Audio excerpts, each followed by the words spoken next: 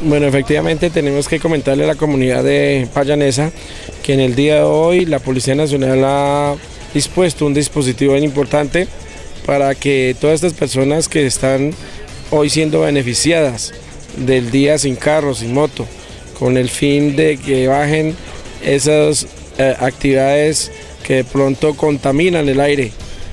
Entonces, en el día de hoy podemos decirle a ustedes que lastimosamente hemos inmovilizado ya siete vehículos y 12 motos.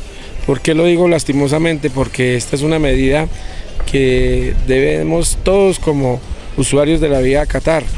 Es un momento en el cual podemos hacer un espacio para regalarle al medio ambiente una, una mejor calidad de vida para el ciudadano.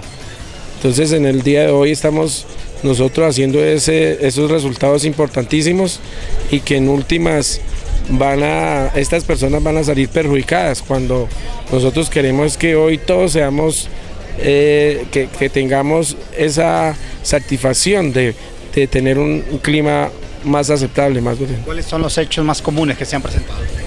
Bueno, bueno, efectivamente tenemos unos puestos de información donde se les dice a la comunidad que no pueden seguir de información y la comunidad no acata y dice no, que tienen que ir a hacer una alguna diligencia y es allí después donde son ubicados por los nuestros agentes de tránsito.